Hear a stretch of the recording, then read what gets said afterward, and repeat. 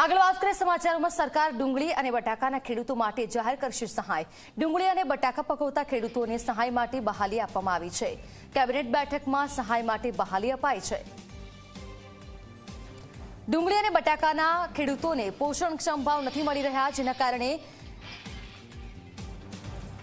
તમામ ખેડૂતોને રાતાપણે રોવાનો વારો આવ્યો છે. ખેડૂતોએ અનેક રજૂઆત પણ કરી છે.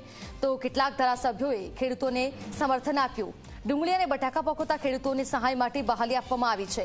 કેબિનેટ બેઠકમાં આ મુદ્દે ચર્ચા થઈ, ચર્ચા કર્યા બાદ કેબિનેટ બેઠકમાં ડુંગળી અને બટાકા પકવતા ખેડૂતોને સહાય માટે બહાલી આપવામાં આવી છે.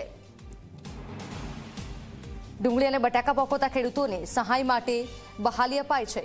સંવાદદાતા હિતલ પારેખ જોડાયા છે. હિતલ, ડુંગળી અને બટાકા પકવતા ખેડૂતોને પોષણક્ષમ ભાવ નથી મળી રહ્યા, જે પહેલા રજૂઆત પણ કરવામાં આવી છે. ત્યારે હવે કેબિનેટ બેઠકમાં ડુંગળી અને બટાકા પકવતા ખેડૂતોને સહાય માટે બહાલી અપાય છે. કયા પ્રકારનું આયોજન રહેશે?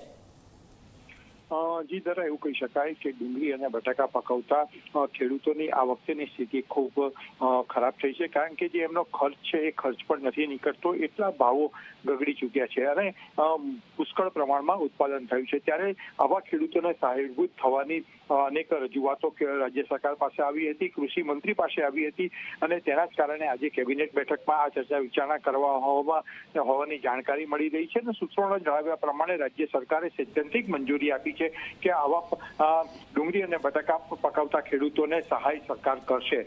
એટલે એક સૈદ્ધાંતિક મંજૂરી અપાઈ ચૂકી છે. હવે માત્ર સરકારની સત્તાવાર જાહેરાત બાકી છે. એટલે એવું ચોક્કસ કહી શકાય કે અ, નિકાસ માટેની સબસિડી સરકાર આપી શકે છે કા વિશેષ સહાય તરીકે સરકાર નિર્ણય લઈ શકે છે? કિસાન સંઘની રજૂઆતના પગલે સરકારે આ દિશામાં નિર્ણય કર્યો છે અને સત્તાવાર જાહેરાત એક બે દિવસમાં સરકાર દ્વારા કરવામાં આવશે. જી. બિલકુલ આભાર આપણા તમામ જાણકારી બદલ.